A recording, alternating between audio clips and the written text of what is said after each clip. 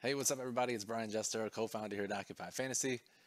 We reached the conclusion of the million dollar mission 17 weeks of reviewing my results, my 150 NFL DFS lineups on FanDuel and DraftKings every single week. We put all the videos together in our Million Dollar Mission 2020 playlist here on YouTube, so check it out. You get access to every single million dollar mission we did. Lots of high level strategy discussion, tons of videos to watch during the NFL offseason to help you for future NFL DFS slates. I think you'll learn a lot from it. In this particular week 17 episode on Twitch, it was a different beast. Week 17, 15 games. So we talked about how to normally attack 15 game slates, how to attack week 17 when there's so much news. Talked about splitting it up, maybe playing the early slates, playing the afternoon slates instead. Talked about how to manage a player pool of this size, how many players to pick at each position. Some of the big mistakes I made talked about just having high level strategies and rules to live by in DFS. That way you're not evaluating things on a case by case basis. Lots of lots of strategy in this particular episode. So again, 17 weeks of it. Go check it out. Follow us on Twitch, twitch.tv slash occupy fantasy for some more content we'll be putting out. And if you enjoyed the Million Dollar Mission series, you'll love my 10K bankroll challenge on Yahoo, where I'm trying to turn zero dollars, that's right, starting with zero, all the way into $10,000 during the 2021 calendar year. We're doing an article every single week at occupyfantasy.com where I detail that journey. So go check that out if you like it. Again, we thank you for following along for 17 weeks. Million dollar mission. Didn't hit it again, but I think we learned a lot along the way. What's going on, everybody? It is Moose and Brian here from OccupyFantasy.com at OccupyFantasy on Twitch, Twitter, Instagram, and YouTube. Yeah, I'm here with Brian at Brian Jester FF on Twitter, here to break down his million dollar mission, the season finale, I guess you would say, uh, where we break down his lineups, his 150 max lineups, take a look at what other people did, uh, who won 50 max, answer your all's questions, and uh, we'll go from there. So, how's it going, Brian? Most feeling good. Uh, yeah, the equivalent of like binge watching a Netflix show, right? It's like if you watch it live when it's on actual TV, then uh, you have to wait each week for the episode. You have to wait a whole few months for the next episodes. But if you're watching this in 2023, then you've already caught up on every episode of Million Dollar Mission. yeah, definitely. I will say, uh, very bold of us to live stream during Games Done Quick, which I don't know, Brian, if you've ever heard of it, but it's basically a charity event where they do speed runs, and then people will have a, like a donation incentive, where it's like uh, people like which character should I choose in this game to start out with, and people donate, and whoever the highest one is, the person has picked that character. Oh, that's pretty cool. I, yeah. I, gotta be honest, I'm surprised they're streaming during the Occupy Fantasy live stream. Seems like a bad, uh, bad timing for them. Yeah, absolutely. So, uh, but we're not here to, to speed run games or anything like that. We're here to take a look at how Brian did on DraftKings and FanDuel. Um, so if we go ahead and take a look at how he did, uh, it's hashtag week 17, which usually means not very good. So we'll take a look at how he did on FanDuel. 24.66 in entries, $857 in winnings for a sweet minus 65% ROI. Yeah, I think one of the worst ROIs of the year, if I'm not mistaken. And uh, no surprise, still haven't learned my lesson. Still play week 17, uh, despite it being a massive slate. Always talked myself into it by Saturday. And uh, Moose, I'm telling you, this time next year, I'm not going to play week 17. You've said that the last like six years, and it just doesn't happen. But I'm actually not going to do it this year. I'm tightening my my contest selection up to a whole new levels. So weeks one through four, I'm limiting my allocation. Week 17, I'm not playing. Or like, what if you just played it a different way? Whereas like, what if you played 100 player leagues, more satellite stuff like that? I guess that's possible too. That's definitely possible. Um, I could find better ways to spend twenty five hundred dollars than than airball yeah. and GPP for sure. I was gonna say because the last time you had went an NFL week without any actions, probably like ten years. uh, yeah, maybe since the womb. I don't know. I can't remember. Yeah, exactly. So if we hop over on DraftKings, take a look at eighteen hundred in entries, four hundred seventy five dollars in winnings for a minus seventy four percent ROI real sick. So I, it's kind of funny because I thought I did a lot better on DraftKings than what I yeah. ended up doing. Um, so my contest selection this week, I played the main slate on FanDuel because uh, they had at least some of the better contests for the main slate. And then DraftKings, I didn't want two sets of 150 on the main slate. I wanted to break it up some. And so the afternoon slate had the honestly had the larger payouts for me. So I played the afternoon only on DraftKings, the $12 entry. Um, but what killed me on both, and we'll talk about this in a second, I had 50 to 60% Malcolm Brown exposure on both sites, and he played like five snaps. So that yeah. was killer. Yeah, definitely. So um, just get these negative numbers out of the way. Let's take a look at how you've done for the year. And on both sites combined. And is this the right one? Yep. 70.1k in entries, 167k in winnings for a 139% ROI. So, successful year. Didn't hit the million dollars. Came really close two different times. But uh, yeah, I mean, we'll take those sweats all day. We'll take these results all day in NFL Classic. Uh, have only had these results in every other sport. yeah, exactly. That, that would be nice. Uh, forgot to shout out the people that's in the chat here. Uh, Swaglord Ken, Starlord's dad, uh, Rough Month, who's on a two months of uh, subscription streak, been a subscribe for a total of three months, says, What's up? What's going on, everybody? Bag Who's says, If week 16 was good, it'll be hard to pass week 17. I know. I'm going to try not to be recency biased, but um, I mean, and this is, we've talked about this before. Weeks one through four, I've never had a winning week. Week 17, I've never had a winning week, FanDuel DraftKings, since I've been playing DFS. Um, I think there's a variety of reasons for that. Most of our model doesn't kick into high gear until week five. Week 17 is a large slate with all kinds of craziness happening. So, um, yeah, next year I'm going to limit completely, completely limit allocation those weeks. Load up, basically play what I would have played in weeks one through four and week 17. Add a little extra to each slate, weeks five through 16, which is my bread and butter. Um, I think we'll see better results that way. Yeah, I mean, because if you just didn't play weeks one through four and week 17, your ROI would be over 200% for the year. so there, there you go. And honestly, probably higher if I allocated more money during those those those uh, sweet spot weeks. Exactly. Yeah. Uh, what's up, Jay Calloway? Says what's up. What's going on, everybody? Uh, and then thank you, Bismo, for the chart. So let's show up the chart one last time for the year. Final ROI, 100, like I said, plus 139 percent.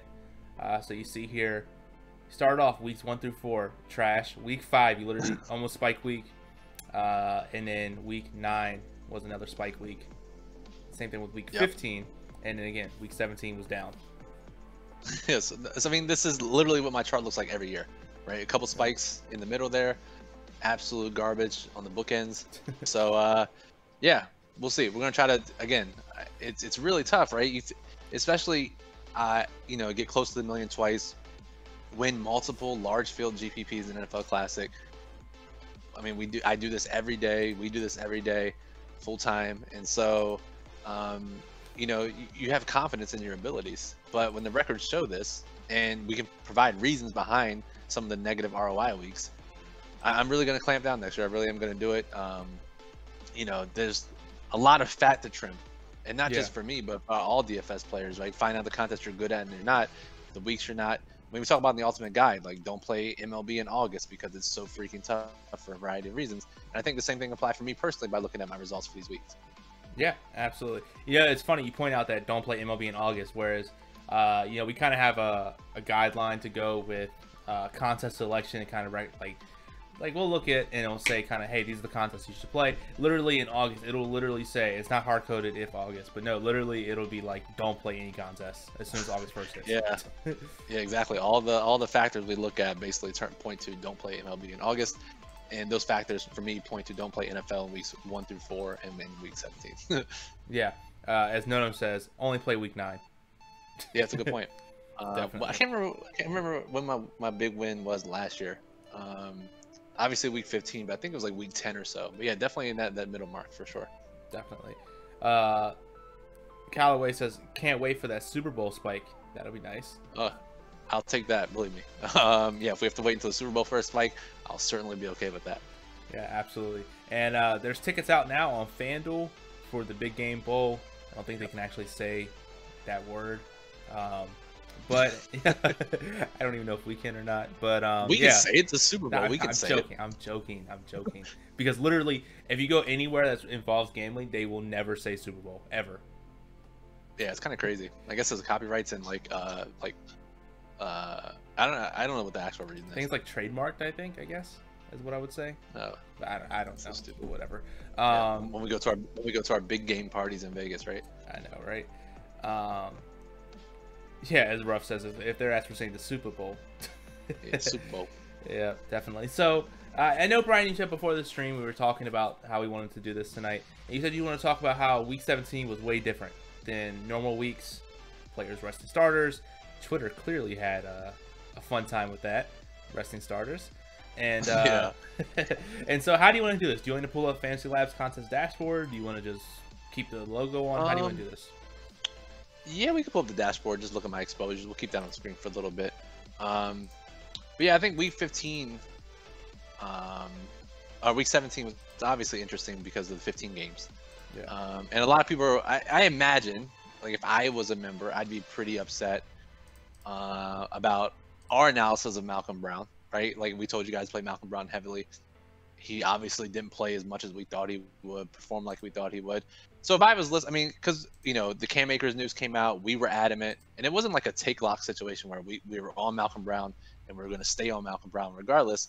Yeah. It's really a, a heuristics type of thing, and I have a lot of like high level heuristics that I follow in DFS that really streamline the process and are right more often than they're wrong. They're not right 100% of the time, but instead of trying to evaluate a case by case basis, where you're going to end up being way more wrong than you should be, or close to 50 50 at best, if we follow these high level rules, your your process is so much easier and you're going to be more profitable in the long term. So the reason I say that for this particular is if a running back is coming off a high ankle sprain and has if they have limited practice, first of all, it's a little sketchy. But Cam Yeah. Akers literally had practiced like a handful of snaps on Friday after not practicing for two weeks. In that situation, more likely than not, that player is not going to play. And if they do, it's emergency only. And if they do play, they re-injure it or they're ineffective. Now, Cam Akers comes out. He was wildly ineffective. Didn't even average two yards per carry. But the coaching staff, which is something that's out of our hands, decided to run him out there for 25 rushing attempts or whatever it is. But if I try to individualize each situation, one, it takes a bunch of time. Two, I'm Yeah. going to be wrong more often than not. If I every time I say there's a running back with no practice on a high ankle sprain, I fade them or play the backup, I'm going to be more right in the long run. It's the same when it's cold, it's you know below freezing. The same when it's super windy, fading passing games. It's the same when um, I don't know. There are a bunch of other ones like this. Obviously, each situation is different, but over the long haul, it, it plays out more in your favor than it does trying to do it each case by case. Yeah, no, totally, completely understand with you there. As Patrick says, yeah, but you guys got Gabriel Davis though. Don't sweat Malcolm Brown. and you know, I- Yeah, it, and- it kind of, I was gonna say, it, the tweet that Chris put out, I, I wish I, I wish I still had it, but he was like, when you have a running back with a bum ankle who averages a yard a carry, you have to run him 34 times. Like that was just, that was just a bad move.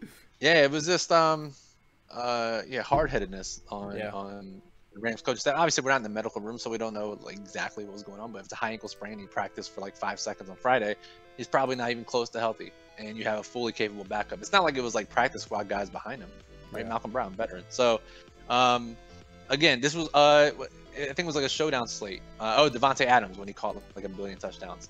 Um, when you get word like that, that the field's not going to change their approach, and uh, we know historically the situation has been favorable one way or the other, and the field doesn't change it, then obviously it might not work out. And Rodgers throws four touchdowns, and Davante catches three of them, Mhm. or Malcolm Brown gets five carries at two percent ownership. Sure, it's not going to work out all the time, but again, over the long haul, these situations, these averages pan out. Yeah, definitely. Um, cool, cool, cool. So let's take a look here. Uh, I have the DraftKings main slate, and did you play the Millionaire Maker on that slate or no? I didn't play the main. I only played the afternoon slate.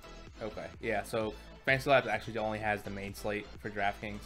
So, All right. Um, which let's see what uh, we can do. excuse me here. Um, I will just take a look here. Uh, I will shout out this guy who had guy who won it had one entry, which is always always cool to see. So sick. And like the most ridiculous lineup ever, right? It was like a, a two by O Kirk Cousins stack, I think. Yeah, let's pull up the lead. Uh, no, it was a two by one. The two by one. He had Marvin Jones in there too. Yeah.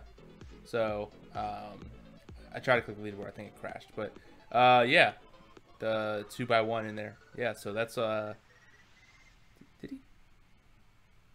No. Yeah, two by one, right? He, he stacked him. He stacked them with the running back Mattison, um, and then ran him back with Marvin Jones. So two by one. Oh yeah, yeah, yeah. Yep, I see that. Yeah, um, yeah, great lineup. Uh, Jets defense somehow pulled it off. yeah, I thought it was a pretty sharp. Uh, you know, the Jets defense was pretty sharp. We're going against uh, Camden, potentially Jarrett Stidham. Um, a lot of the plays in this lineup individually were pretty sharp, so um, a great lineup by uh, a person with one, one entry for sure. Absolutely, yeah. Um, is there anybody that that 150 max that you wanted to take a look at and see what their exposures were? Um, let's look at let's look at like uh, I don't know. Um, give me a second. I'm gonna think of someone that we should look at. Okay. Um, you, I also want to know if, if, you guys are watching this live, um, any questions you have about approaching week 17? Because uh, I know a lot of people talked about Moose player pool size and trying to pare down yeah. the player pool, given how many freaking guys were in the in the in the player pool. Exactly. Yeah. I mean, it was tough because I ran. I must have run the opt. I must have run DFS Magic four thousand times this week. yeah. It went from yeah. Like at first, I was like, all right, let me just add everyone who I think I like. Ended up with like right. an 85 player pool. I was like, I can't do this. Ended up trimming it down to about 60. I think 62 is what I ended up with, uh, and couldn't really. Uh, it, I, I didn't like it. Uh, it was funny. I tweeted or I sent in Snapchat. I was like, "This is the greatest I feel about my lineups all season," which means I'm definitely going 0 for 150, and I ended up I think catching like five or something. yeah, that's definitely how it works out for sure. Um, I say we look at uh, Chipotle Addict, Papa Gates, those guys. Um, traditionally, one of the, the best duos yeah. in NFL for sure. Absolutely. So let's see what they did in Millionaire Maker. All right, let's see. So Let's see. So Chipotle Addict. Uh, sorting by leverage. His highest leverage had three players over, uh, or four players over 30%. Keelan Cole, Chris Carson, Marvin Jones, and Noah Fant. So let's talk about these guys, why that may be. So Keelan Cole, obviously, um, DJ Chark was out, so that was that would be a boost to his expectations. Uh, Chris Carson, Carlos Hyde was out. San Francisco had a billion injuries on defense, boosted his expectation. Marvin Jones, still no Kenny Golladay, Matthew Stafford playing versus a terrible defense. Makes sense. Noah Fant, uh, I think he was like top five or top seven in our model, so I imagine they had, they saw similar numbers in whatever models they use. So it kind of makes sense to me. No real surprises there. Yeah, absolutely. And if we take a look at the other person you want to look at, um, Papa Gates, let's take a look at him. If my internet decides to work properly. There we go. Um, he had several more players over that uh, over that 30% leverage mark. Robbie Anderson, Chris Carson, Emmanuel Sanders, Josh Jacobs, Keelan Cole, Chris Conley, Bridgewater, Marvin Jones, DJ Moore. So a lot, a lot more players over 30% leverage. Yeah, obviously a lot of overlap between the two. Um, but Chris Conley, love to see that. Glad to see I wasn't the only one playing a decent amount of Chris Conley. But yeah, uh, wow, he had 35% exposure. So he was big on the Jags passing game. Sucks that Laviska was the, the Jags receiver who went off for these guys. I know. It's, uh, it sucks. But yeah, I mean, uh, Anderson, a little questionable. I don't know why uh, he had a lot of him. Carson, we talked about already. Emmanuel Sanders with no Kamara and no Michael Thomas. That makes a ton of sense. Josh Jacobs was completely overlooked by everyone. Um, he must and then Teddy and DJ Moore. I imagine he stacked that game pretty heavily. It seems like. Yeah, that's what it looks like here as well. Yeah. Um, let's see here. Ken says, "All right, here's my question for Week 17. Why ever play it?" I'm with you, bro. And, and, we get we get flashbacks, right? We get to play these guys from preseason, but um, you know the scores are so high. And I, I think a great way to think about this is, and it sounds crazy for DFS. I think Bales has talked about this from Fantasy Labs. Is um, you know when you're playing GPPs, the question shouldn't be how can I score the most points to yeah. win? The question should be, how can I score the least amount of points and still win? And it sounds similar, but it's different questions because if all the chalk hits, if there's 15 games of action, you're gonna need a lot higher score to beat everyone. Where if the chalk busts, lower game stacks go off, um, there are less less games to go by, then there's less points you have to score, the less you have to do with a DFS player. So with a 15 game slate, you have to get a lot of things right and a lot of things perfect to win those GPPs, those high risk contests in week 17. I think we see that here in the results. Especially with what is it? I don't know how many entries this is. What almost 200,000 entries, where pretty much all the major combinations are going to be there. Yeah, no, yeah, 100% right. Right. When when multiple guys go off for 30, 40 points, the top of the leaderboard in a 15 game slate is going to have those guys. Yeah, absolutely. Uh, I forgot to say, Ed. He said, "What's up? We talking 444 NBA yet?" Uh, Ed, I'm with you, buddy. I got a couple tickets for for Wednesday too, so um, I'll be in the Discord just like you asking questions because I am not a good NBA player. Yeah, definitely. Starlord's dad says Marvin Jones was a risky surprise because the week before left the game with an ankle sprain and killed all my Jones Jr. lineups. Oh, Stafford. Yeah. Um, yeah. The thing was, like, it, it seemed like just a, a fluke injury, and he's a tough guy, going to play through everything. So when I saw that he was going to play, I figured unless he got another fluke injury, he was going to play the whole game. At least that was my thinking. Yeah. Um, I imagine that, and the total kept increasing too, and didn't go down. So the, the betting markets weren't worried about Stafford leaving because I guarantee you, most if Chase Daniel was going to be under center for a while, or David Blough, whoever, that total would have dropped. Oh yeah, absolutely. You know, speaking of the betting markets, I, I do want to say it was funny when that bit, the Miami spread went like six points in their direction. Total went down because I guess everyone thought Bill starters weren't going to play hardly anything. Uh, people were saying bet the Bills first quarter because their starters were, and then they just they lost the first quarter and then just absolutely dominated the rest of the game. It was very yeah, tilting. the exact opposite how that game should have went. Yeah. Um, I, dude, the Bills backups beat beat them for three quarters. So pretty nuts. Uh, definitely. Yeah. Notem says Marvin is a classic guy to play off bad games because he burns people. Yeah, I thought so too. I was kind of surprised to see how highly owned he was. He was like 11% on FanDuel, I think, around. What was he on on DraftKings here, most? Marvin Jones. Uh, let's see here. Oh yeah, also 11%. Uh, so yeah, 11%. I mean, yeah. Not that insignificant on a 15 game slate. Exactly. Yes. Um, I, I'm actually curious. I want to look at the team stacks for this slate. The highest stack was at 4.9%. Kirk Cousins, Justin Jefferson, two player stack. Uh, that, all, that Cousins, that Cousins, yeah, that Cousins line, uh, Cousins was really popular, right? Yeah, and I mean, the top one percent had 13% of this two two man combination here. Christ, yeah, that's crazy. Yeah, um, so so I mean that that kind of shows too, right? When the most popular two man stack is tripled in the top 0.1 percent, it was a pretty chalky slate in, in that regard. Yeah, exactly. Um, and if we take a look at game stacks, uh, again, player players from two different teams. Derrick Henry and Brandin Cooks was the most popular with 1.7% of the field doing that. Uh, yeah, and they both absolutely dominated. Yeah, and I'm looking, I'm trying to see here if I can filter out to see. Yeah, the, so the top four man stack Kirk, DeAndre Swift, Justin Jefferson, Irv Smith, 0.3%, which is, I would not suggest, I would not, I would be very surprised that, that was the, the top four man stack in terms of ownership. Yeah, I don't think it is. Um, I would imagine it was that that second one seems more likely to me. Yeah, I don't know. Who, who knows? Um, Either way, but I mean, again, yeah. this this is why scores yeah. were so high. I, I think probably why I had a negative ROI, and Malcolm Brown not helping at all either. But like when the most popular two man stacks, both from quarterback receiver perspective and like mini game stacks, go off like that, uh, it's gonna be a rough times for me. Gonna oh, yeah. have a bad time. gonna have a bad time, definitely. So uh, I also wanted to check because there was so much. Like week 17 is a different beast. It's almost like a preseason where salary necessarily doesn't really matter. Right. So if we take a look here, but still, 50% of the lineups use the entire salary cap. Yeah, and I, you know, my thought was uh, along your lines too, Moose. Like maybe don't need to use the whole salary cap, but like a lot of the top 0.1% lineups over the last three week 17s have been right near 50k. So um, despite getting a lot of guys who are sitting out and backups coming in. I mean, we had a bunch of min-price plays we could have played this week. Yeah. It just means that you could fit in more studs, especially on DraftKings where the pricing is tighter. Exactly. Yeah. Um, and if we take a look at the flex users, like we like to see, 13% of people use a double tight end. How many? Uh, how many in the top 0.1 percent? 4.65. Good. Nothing. Nothing brings me more joy than seeing that chart at a downward angle. Yeah, exactly. I absolutely love to see that one there. Um, and the other thing we like to look at is duplicates. Um, if we sort by the number of users that duplicate, so this lineup was duplicated 67 times.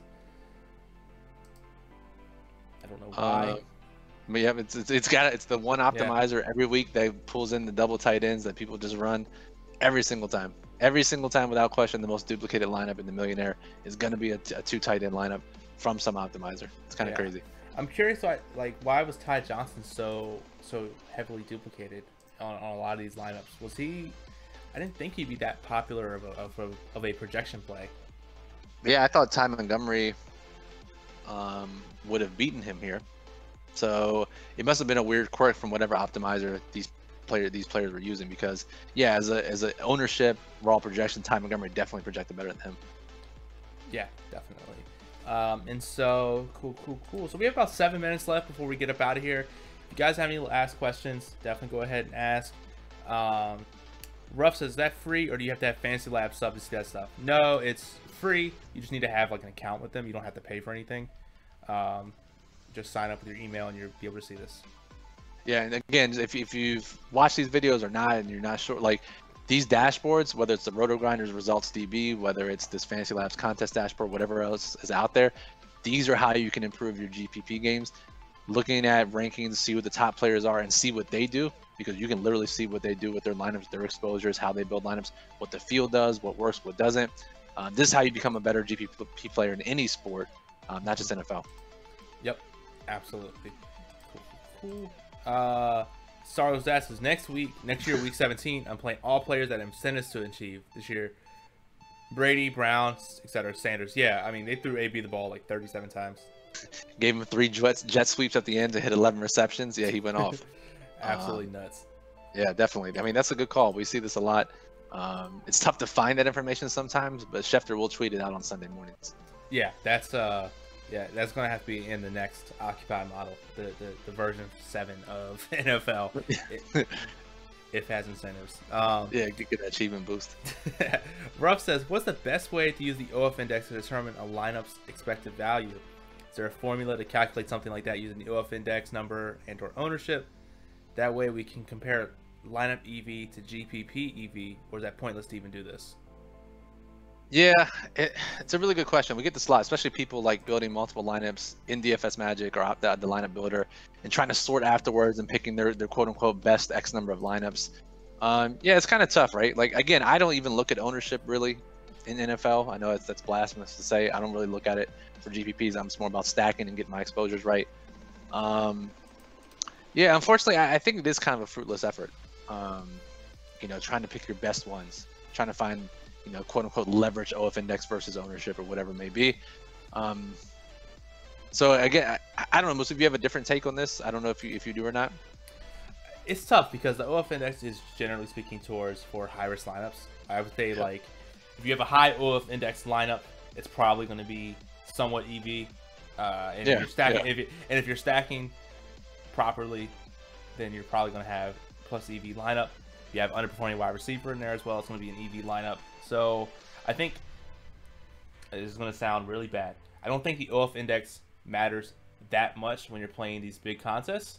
These these millionaire makers, uh, the rush, all the other kind of those big contests. That's more lineup based, where you need to make sure you're stacking properly. You need to have the right players in the in your pool. OF index, yes, absolutely matters, um, but I think it matters more in like hundred player leagues, uh, and I think it's up, stuff like that. Yeah, and I think it's tough even like comparing lineups against each other. Like yeah. uh, one is like a combined OF index of 306 versus 300. Like is the 306 that much better? Not necessarily, right? Yeah. So um, a long long way of saying it's really tough to do that. Rough. Yeah, absolutely. I think the only thing would be is just like, is this again going back to stacking, playing underperforming wide receivers, uh, high. I think the only time it would matter is in like defense. Whereas like if you I, very rarely we yeah. play a, a, very shitty like one one OF index defense. Yeah, same for me. Like tight ends and defense, like I'm I'm I purely uh, follow the model, the top top few plays, and uh, it, you know every couple weeks I'll be like I really like this guy, and he's like the 15th ranked tight end. Uh, I got to get him in, and then he scores like three points every time. So yeah, um, I, I, I just stick to the model for defense and tight ends, and that's probably the best indicator of OF index. Yeah, absolutely. So uh, awesome, awesome. So we have three minutes left for the se season finale. If you're here on YouTube, make sure you go ahead and hit that subscribe button. Go ahead and comment if you want to. Uh, if you're here on Twitch, again, remember uh, we have two que- two minutes left. to answer your questions. Brian, is there anything that you want to take away that you learned? I'm gonna ask you this: What's one thing you learned, and one thing that confirmed your your belief this NFL season? Cool. Good. Really good question. I will. Before I answer that question, because I do want to say before we get out of here, um, this is the final million dollar mission, but I am starting that 10k bankroll challenge on Yahoo, and so uh, we're going to be writing about that every single week. Maybe do some twitches about it. So if you're looking for high level strategy type stuff, um, you'll be in, if you like this, you'll you'll tune into that as well. And I think you'll like that. Um, things I learned this year, um, I think the thing I learned the most is, you know, to not be too married to the three by one stacks with rushing quarterbacks. Mm-hmm. This year was the most rushing yards we've ever seen by quarterbacks combined since the history of the NFL, right? So, um, guys like Jalen Hurts, Kyler Murray, Lamar Jackson, not necessarily having the three by one stack those guys. But the thing that confirmed my beliefs was that for not those guys, three by one stacking still the way to go. Yeah. Not much has changed, right? Playing high volume running backs, underperforming wide receivers, three by one stacking again that led me to over 100k in profits once again this year. And we're gonna we're gonna research stuff again just to make sure. But for the foreseeable future, looks like that's the most profitable way to play NFL tournaments. I thought you, I, I would have bet money I would have lost everything I had. I thought you were going to say what confirmed your belief was that uh, the cheap player in a stack. Oh, I didn't even, yeah, for, I forgot that. Yeah, the, we we discovered that. We learned that and and confirmed it in the same season right? We've yeah. unveiled that in the middle of the year, and then like I immediately won 50k with it. So um, that's another that's a new thing we learned, but it was also confirmed basically nearly immediately. Yep, absolutely. And Star Wars says, when are you starting the NBA mission? you want us? To, you talk about uh, uh, valleys in a graph? That shit would just be straight down. Yeah. Um, I don't know. I got some monster tickets tomorrow. Maybe I'll win and we'll, go, we'll get a spike week. But um, I'm still putting in the effort behind the scenes to, to learn the right way to play NBA DFS tournaments. So uh, I'm not confident in playing a ton of money just yet. Yeah, I mean NBA is such a completely different beast. You can't even compare it to MLB, uh, any other like MLB or NHL. Those kind of daily sports. It's just it's ridiculous. It is, yeah. Yeah, absolutely. Um, so I think that that pretty much wraps it up. Again, guys, I'm pretty sure everyone here is on the Discord. So if you have more questions, you can go ahead and ask. Uh, but until Saturday. We're not sure yet on the time, but uh, we'll be doing something Saturday for the NFL slate. Until then, maybe maybe Friday night. I don't know. We'll see. Yeah, we'll figure it out. Uh, we'll post in the Discord and let you guys know. So yeah. until then, uh, Moose and Brian from Occupy Fantasy. Peace out. Peace.